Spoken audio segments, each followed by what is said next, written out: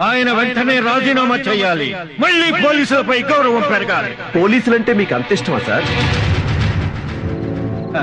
పోలీసులంటే భలే ప్రాణం తమ్ముడు నాకు. పోలీసులంటే అంత ప్రేమ ఉన్నవాళ్ళు ఒక పోలీస్ ఆఫీసర్ అతని కుటుంబాన్ని ఎందుకు చంపారండి?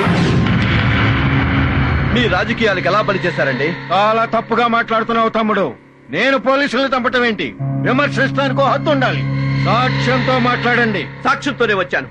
మీకు చెంచాగిరి చేసినందుకు నన్ను బట్టలు ఒడదీసి చెప్పి పెట్టుకొట్టి నన్ను ఒక సిన్సియర్ ఆఫీసర్గా మార్చాడే?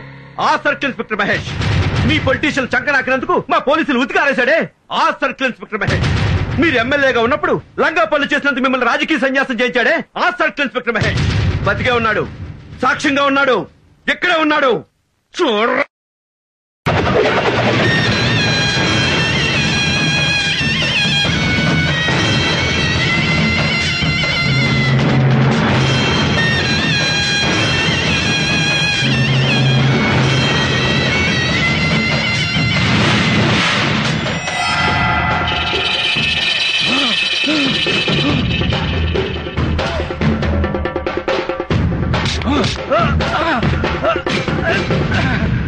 నీ చేతులు నరికింది ఎమ్మెల్యే భగవంతుడు. ఆ భగవంతుడు ఎవరో కాదన్నా సిఐ మహేష్. భగవంతుడా!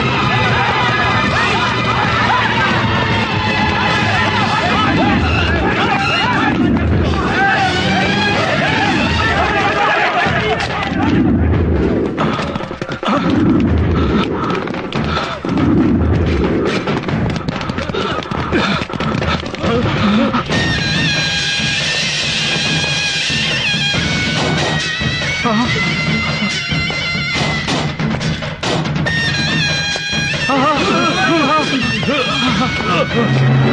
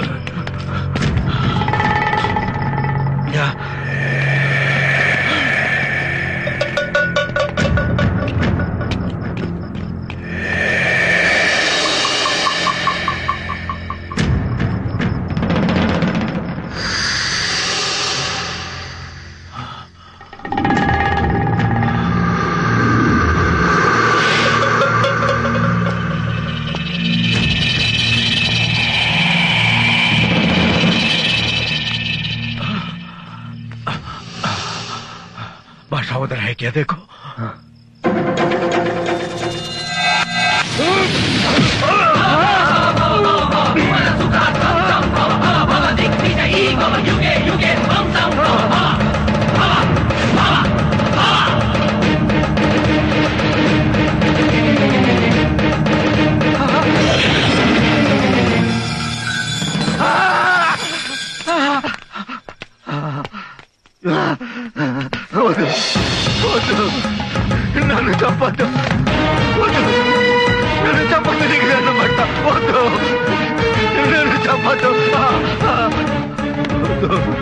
చంపొద్దు నీ కాళ్ళు పట్టుకుంటే నన్ను చంపద్దు.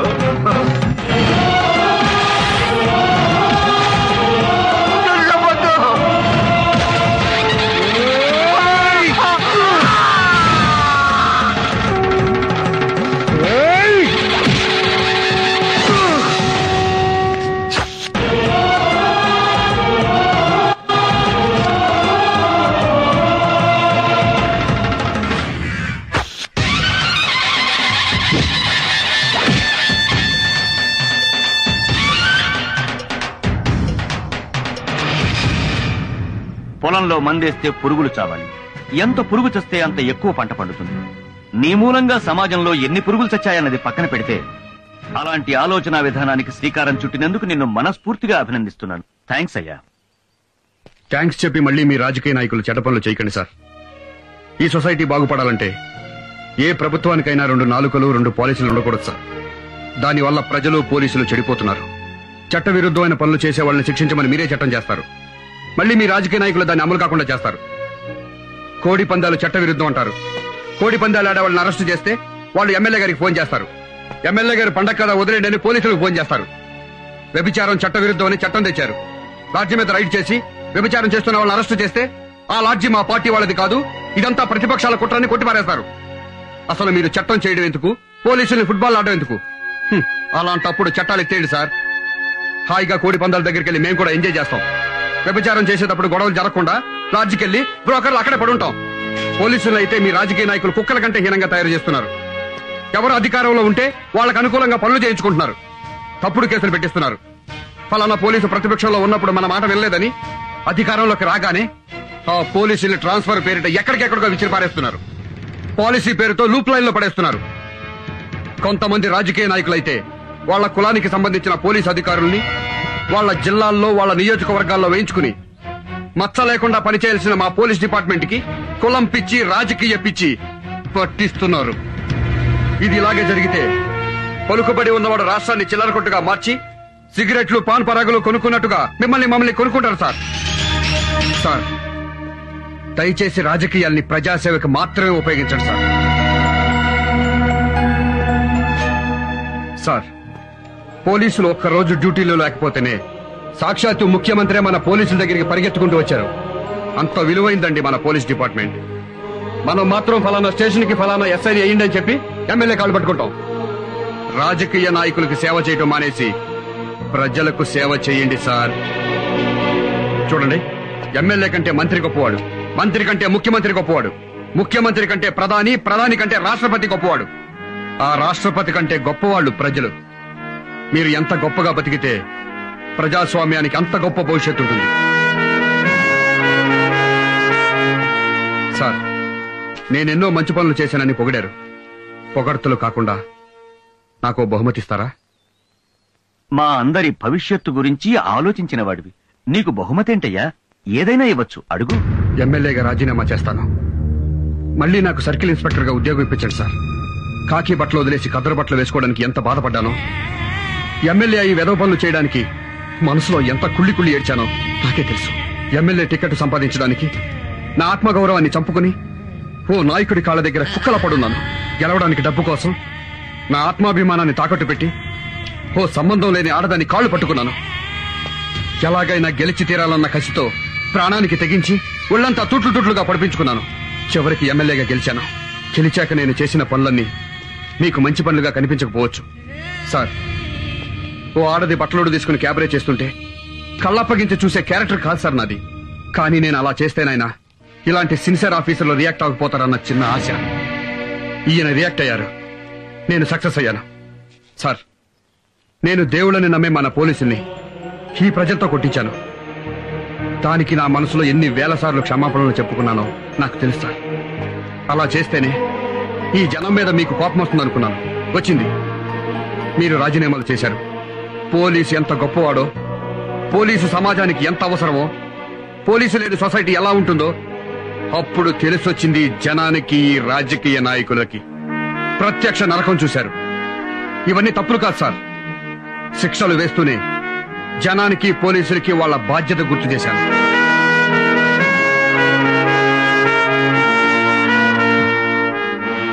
అమ్మ కడుపులో బిడ్డ ఎంత పవిత్రంగా ఉంటుందో యూనిఫామ్లో ఉంటే నేను అంత స్వచ్ఛంగా ఉంటాను సార్. సిన్సియర్గా డ్యూటీ చేస్తాను సార్. నా ఉద్యోగం నాకు ఇప్పించండి సార్.